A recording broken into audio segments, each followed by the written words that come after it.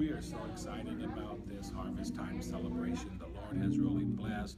The members have really um, chimed in. We are right at 500 invites in about six weeks. Um, our goal is 1,500, and I just know the Lord is going to bless us to achieve that goal. We have seen excitement here in the church. We have invited people to come during harvest, and some of them have already come into the church, been part of the church. The Lord is really blessing harvest. I am so excited that the Lord brought Bishop Horn into our life. We can see a change, and we're expecting God to do great things during our harvest time celebration.